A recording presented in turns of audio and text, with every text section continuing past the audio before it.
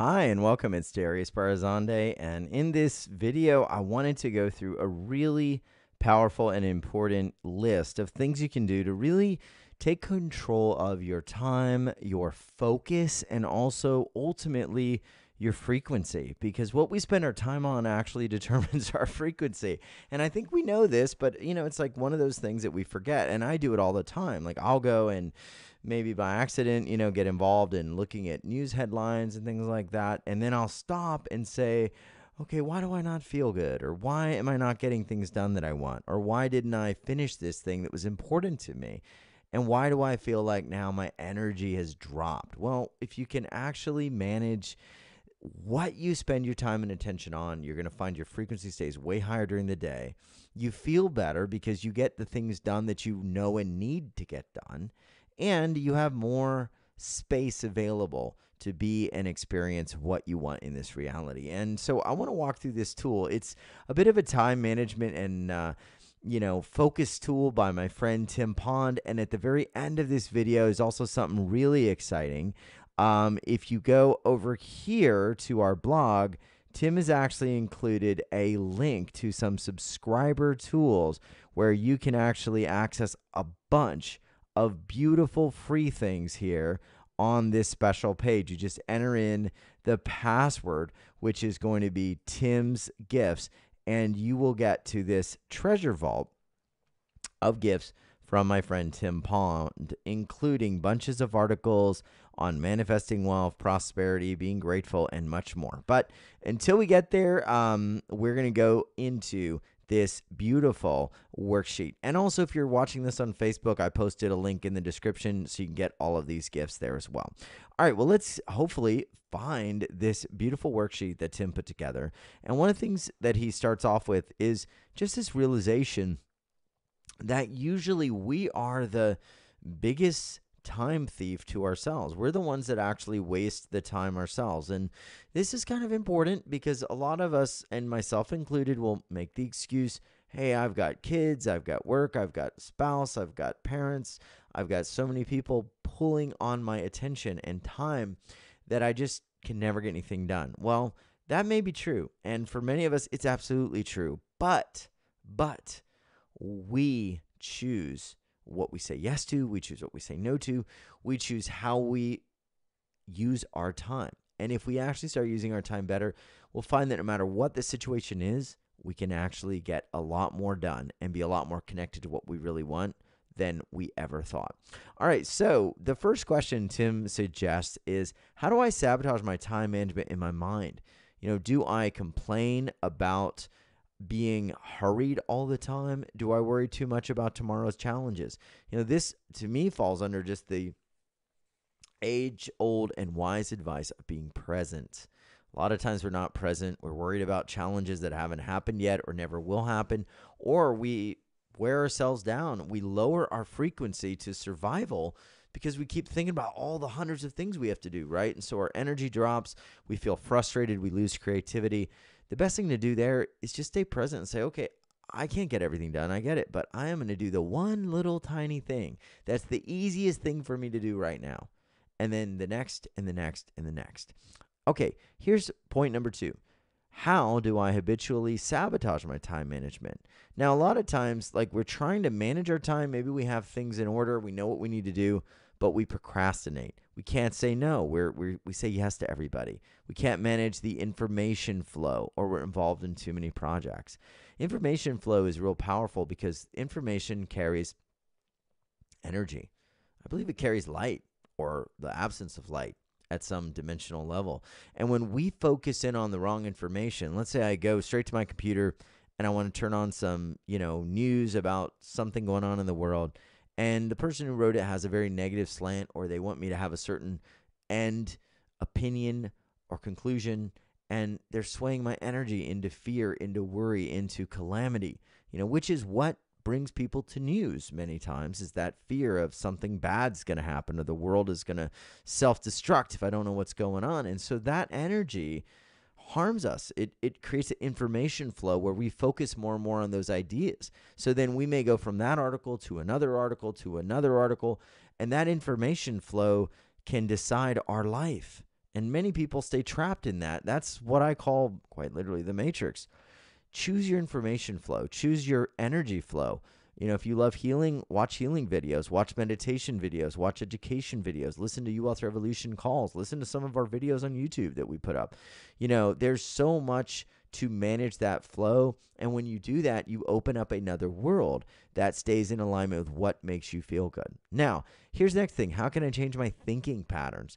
Now, here you may have to go in and actually do some work. You may have to ask the question, why am I feeling a certain way?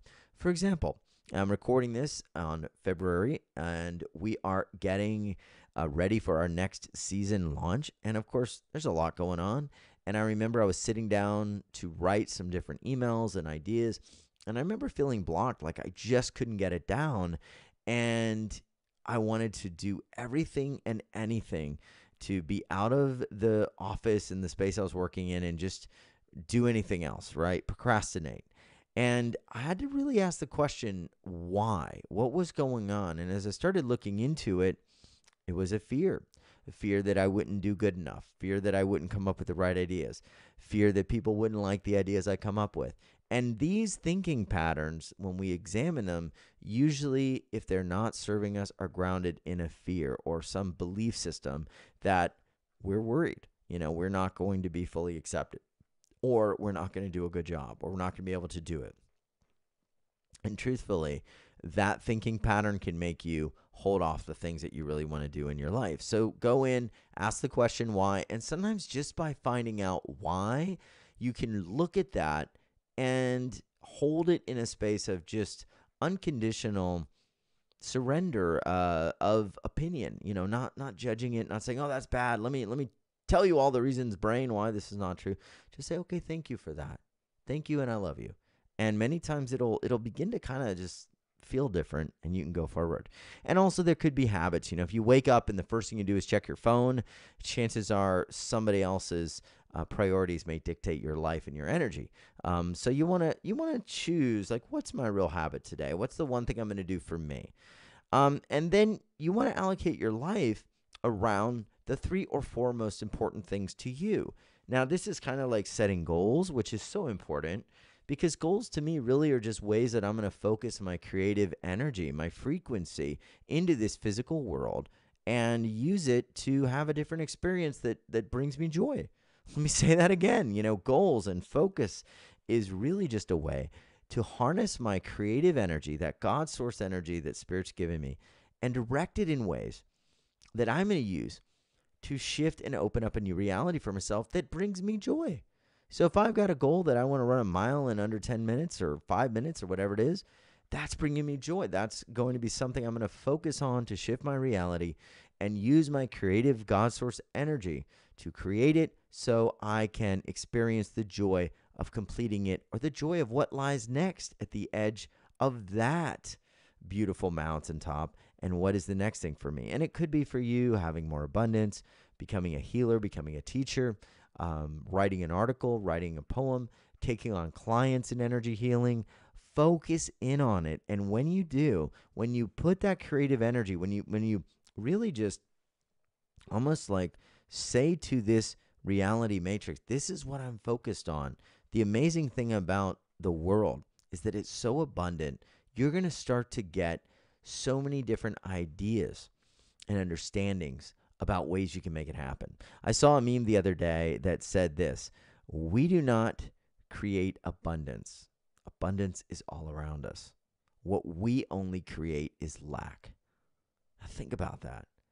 What if that's true? Now, I've said create abundance many times. I've used that term. It seems natural to me, but it really made me think like, what if actually the universe is completely abundant without us. But what we do is bring our illusions, our ideas, our fears, our programming, and we actually create lack. So think of it the moment you write down what's most important to you, abundance is already starting to come in on those items. Really think about that. Like it will start coming in. If you say, you know what, I wanna I wanna become healthier and eat more, you know, green things, right?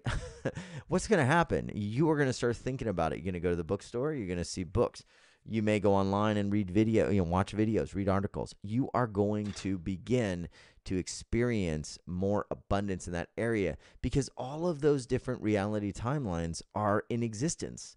You just only have a selective amount of awareness at the third dimensional level to make them come into reality. Think about that. It's mind blowing. Um, and it shows me, I believe, that anything is possible. And we haven't even started talking about timelines uh, because even what you're seeing in this planet right now, you may say, well, I don't like that. Well, what if there's an alternate timeline where the world you want to live on actually exists in this, you know, dimensional space? And by you focusing on what you really want, you actually go live on that planet and uh, have a whole different life. Reality is very, very fascinating. But here's the thing you can get mired down in so many high esoteric ideas that you don't do the basics. And the basics are managing your time, frequency, and energy.